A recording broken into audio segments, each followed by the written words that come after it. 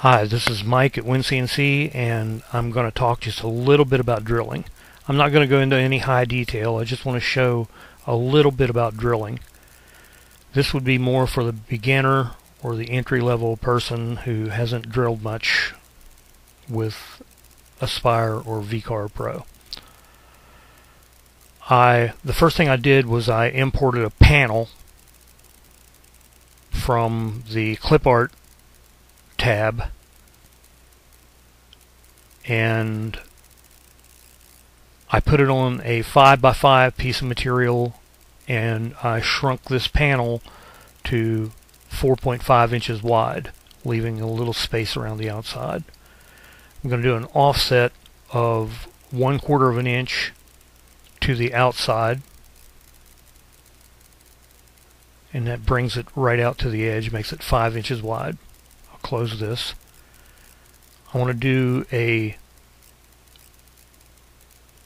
1 8 inch diameter hole or circle and I'll do it right here on this and that's what these guides are for is for me to line it up and I'll also do one here and close now, if I wanted to drill this, drill holes in this, I could uh, select the two of them and go to toolpaths and go to drills and choose my tool that I wanted to do it with. And I'm going to use a an eighth inch end mill my favorite tool for drilling in, in wood. And I will retract above the cutting start depth and calculate. Oh, yeah. Well, let me go back and fix that. I was drilling too deep. Don't want to do that. If we flip it up on its side, you can see that I drilled a hole here and I drilled a hole there. And if I preview it you can see that it drilled two holes. Great. Okay now and if I wanted to I could select these two and come over and uh, I'll use this and I'll go 60 thousandths deep. And I'll go ahead and calculate that. And you can actually see where the holes would have drilled it, would drill it. And you can see there that it did that. Okay, now, where a lot of people make a mistake is, is they would just select all of this. Since you're only drilling two holes, you know, you you might do it like this and select this. Now what's going to happen is it's going to drill a hole right here in the middle of this whole thing also. So I'm going to select this. I'm going to go back over and select this. I'm not going to change anything here. I'm just going to calculate. Now if we edge this thing up, you'll also see a hole right there. Now you might ask why, and I'll preview that. And you can see that it actually did do it. The reason that it did that, and I'll and I'll do solids. I'll turn solid on and drills, and you can see that it actually shows you the the hole in the drawing page. Uh, the reason that it did that is it creates a hole in every item that's selected in the center of every item that's selected. It doesn't matter whether it's a round circle, it doesn't matter if it's a square or some other odd shape. It really doesn't matter.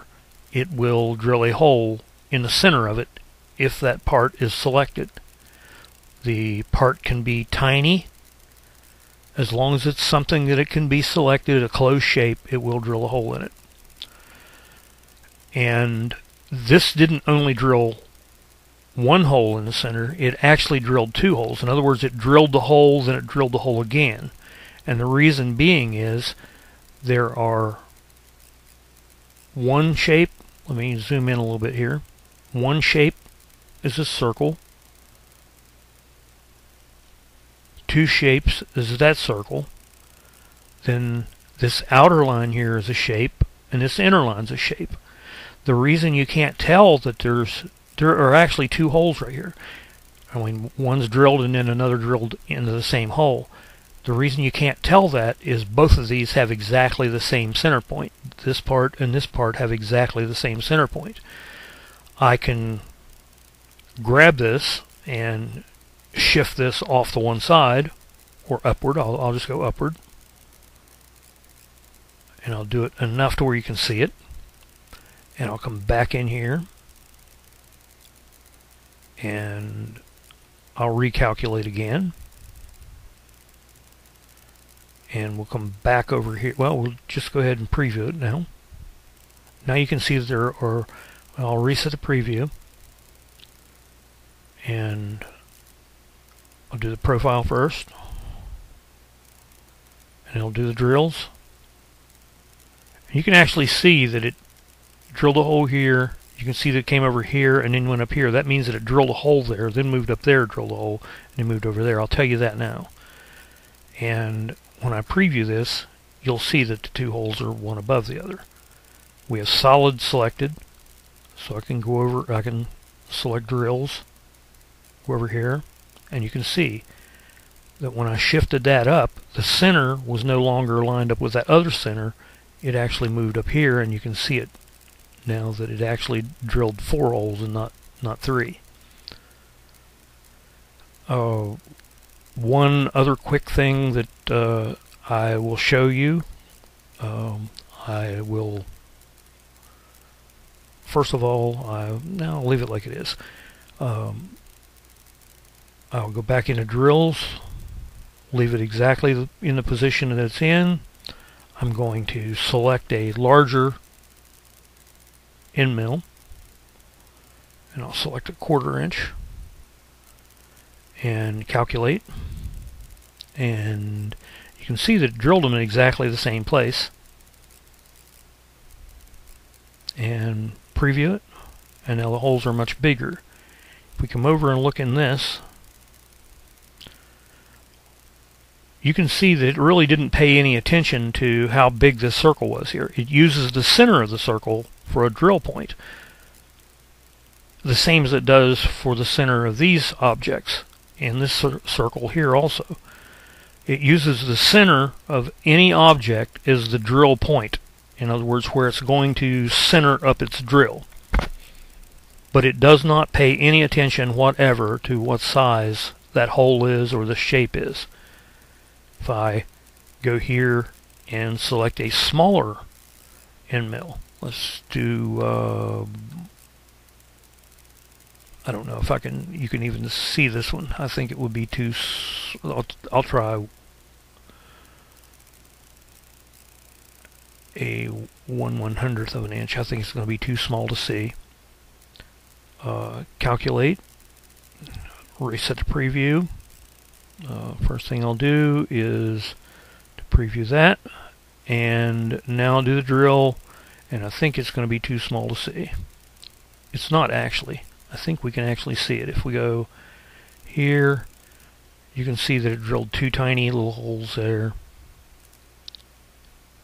A tiny little hole over on that side and a tiny little hole on that side. And if we go back here and we select this and we zoom in far enough you'll see that there is a hole drilled there. Should be two right here. Yep. And one over here. So that's that's all I wanted to show you about drills. Uh, never think that it's going to drill the same size hole that you drilled unless you're using exactly the same size end mill. Uh, also, be careful how you select uh, items or whatever, if you only wanted to drill in a specific area, make sure that you only have that selected. Because as you can see, when I selected multiple items, it drilled centers on all of those items. It didn't matter what the shape was, it just drilled there. It doesn't care. Thanks for watching.